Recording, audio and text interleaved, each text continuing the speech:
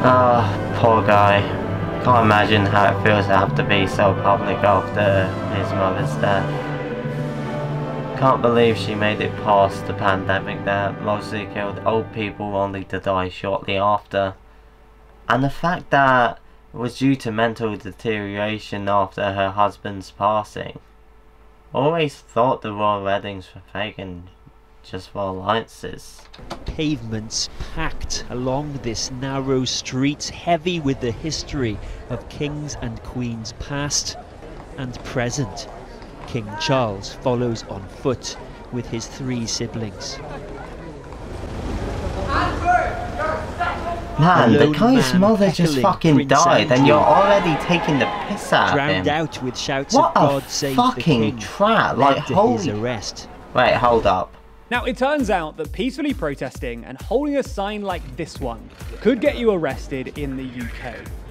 Since that arrest, there's been a number of other incidents across the country. They proclaimed Charles to be our only rightful Lord and King, and I found that pretty hard to stomach. So I called out who elected him, and then the police interrupted, grabbed hold of me, they handcuffed me, they put me in the back of a police van. Now, this sign certainly is provocative, especially during the official mourning period for the Queen. I'm certainly not endorsing it by holding it. But protest in the UK, especially peaceful protest, is normally reasonably well protected. Even if you disagree with this sign, even if it offends you that's being held so close to the Queen's death, that doesn't ordinarily impact freedom of speech and freedom of protest. and I wanted to protest that issue of freedom of expression. So I went down with a, with a blank A3 sheet, said nothing, and just stood there outside Parliament. And then I started walking around with it, and at that time a policeman came up to me. I said I was going to write "Not My King" on a sign, and you asked for my details. Who's that going to offend? He said yeah, probably yes, because it's offensive and, and therefore against the Public Order Act. And just a police officer coming up to them and threatening them with arrest is enough to, to put them off. Um, and that's why it's really important for the police to be careful about the way that they're policing things at the moment.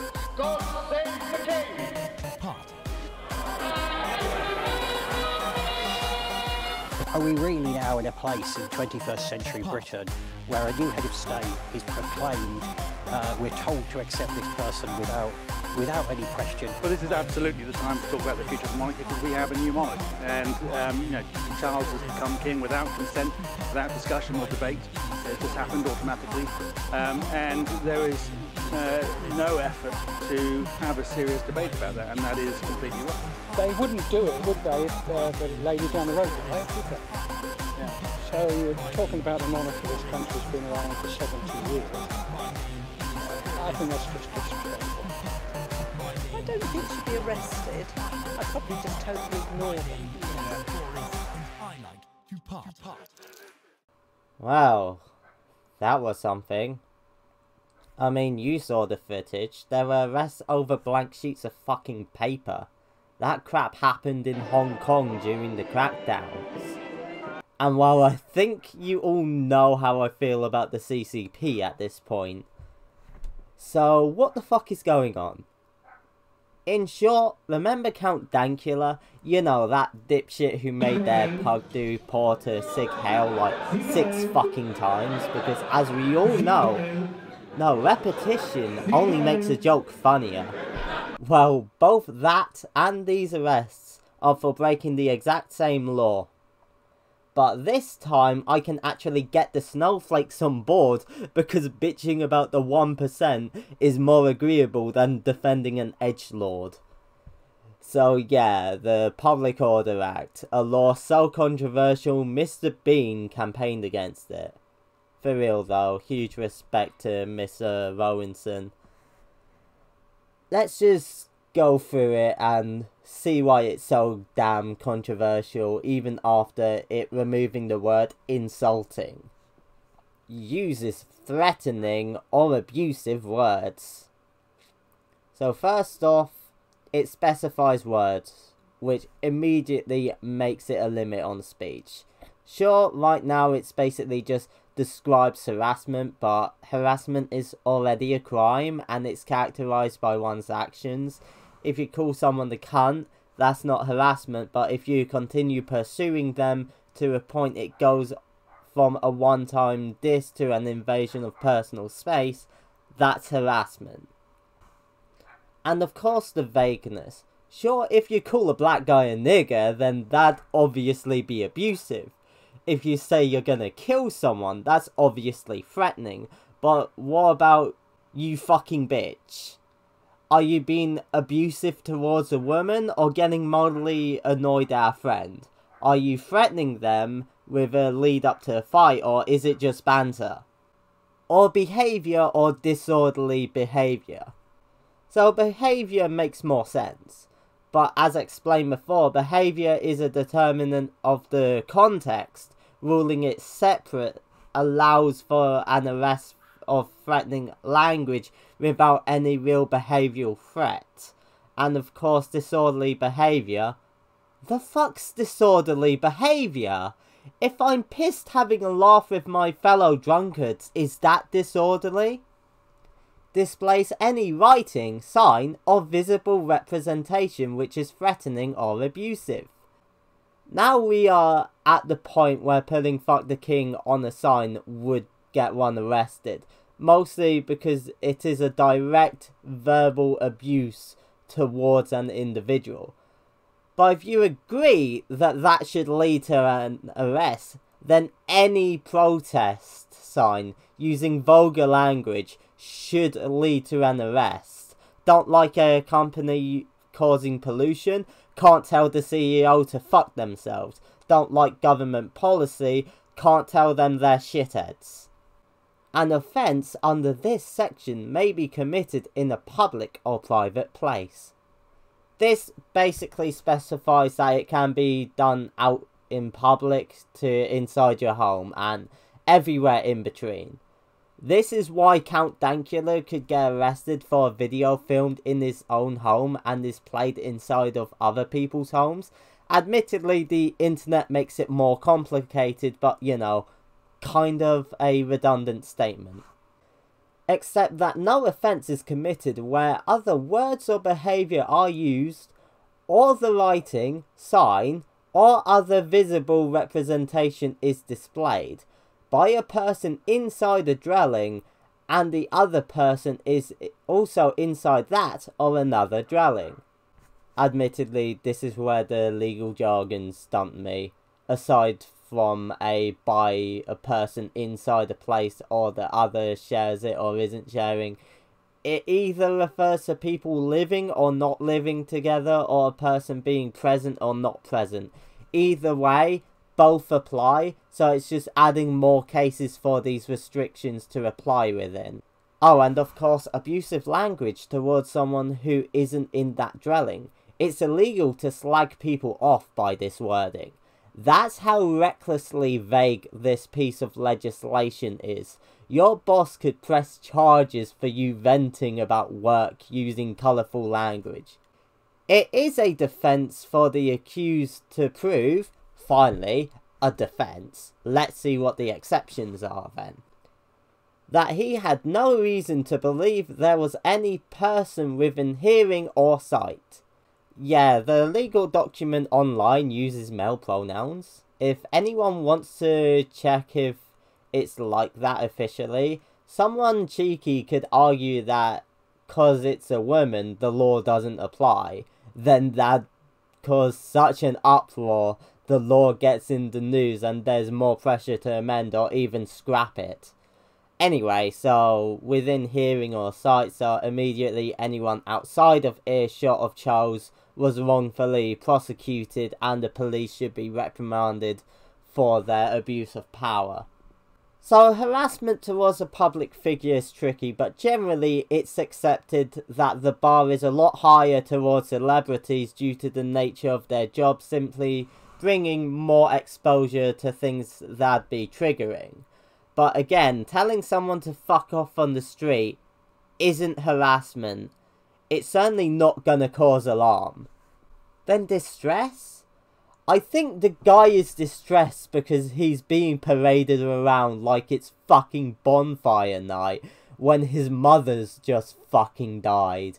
Not because some prat he's never met said that they don't want him to rule.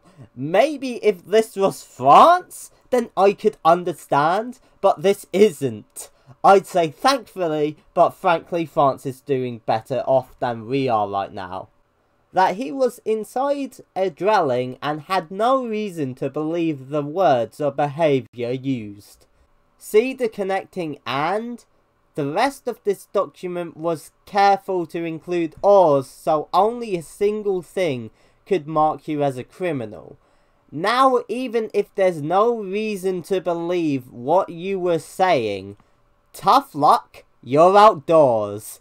Someone may have overheard you and got distressed because they're a fucking snowflake into the slammer review.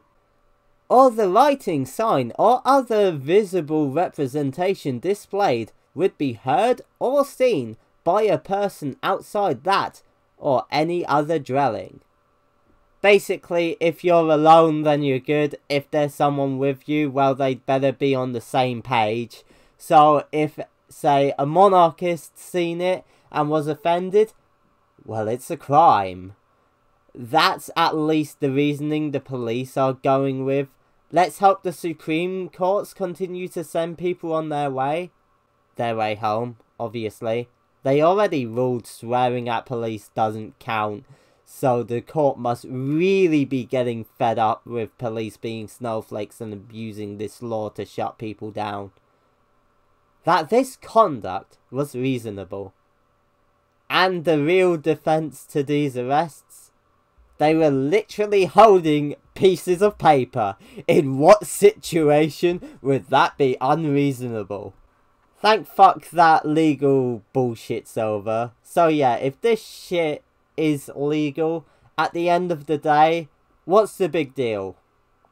Well, for one, the fact that the police arrests remove protesters during a protest, it entirely neuters their protests, and due to the vague nature of a, of the law, a cop can't be dragged with abuse of power because as we've seen with Count Dankula case, it's all about how it appears, not how it actually is. So where a cop would get done for being gun-ho and not waiting for evidence to materialise, they can just say, well it looked like it, and get away scot-free for impeding people's freedom of expression. That and the fact that the law is being used to protect politicians from criticism because it's phrased harshly, it's blatant censorship. But dipshits will happily agree with they were being arrested for being unnecessarily insulting, instead of they were arrested for disagreeing with a political figure. If it was illegal to talk to people like trats, then Australia would be a convict colony. So yeah, to say Britain has a fucked up past would be an understatement. We literally invented concentration camps, but that is no excuse for continuing human rights abuses. Our government wanted to put disabled people on a do not resuscitate list, what an insidious way to save money on the NHS. You fucking prejudiced pricks. No wonder why you fucks wanted to change human rights abuses to only the government actively impeding them. Oh, don't worry. The state isn't murdering us autistic people. We're just criminally neglecting them until they die on their own accord. That's way different. And of course, no statement from the king condemning the arrests. Now, I have great sympathy for Charles's situation. He's dealing with the loss of his mother as publicly as it can get, and he has to take a stressful public job while he's still mourning and way past retirement age. You can see he's barely holding it together when Parliament is singing God Save the King as the realisation has time to sink in. But, and this is a huge but, he is the head of state. His word at times is more valuable than the actual leader, despite him being a glorified rubber stamp they parade around. It shouldn't be monarchists on the news saying he wouldn't condone the arrests. It should be the monarchy itself saying that. Speaking of which, You know what is also poorly timed and disrespectful? A fucking week and a half of parading around the country like it's bonfire night, using taxpayer money to do so, costing us millions while we're struggling to pay for electricity. The funeral? Fair. The addresses? Fair. Dismissing Parliament as per tradition when they just got back from holiday and allow them to continue to leave the nation to fucking burn during an unprecedented crisis? Fuck off. Tradition is one thing, but there's a time and a place, and this isn't the fucking time, not by a long shot. No ill intent towards Charles. I don't hate him. Well, I did just condemn him for his silence in regards to police abusing their power. Point is, I'm not French. I don't want the guy dead. He can keep his unimaginable wealth, but since he's just a mascot at this point, abolish the monarchy. There was already controversy with his mother working with the Conservatives to pass her own laws when she should be apolitical, so I just say it's not worth the money to sacrifice our liberty.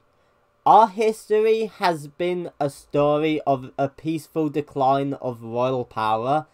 Let's close this chapter and rid ourselves of our last legacy of empire and start anew.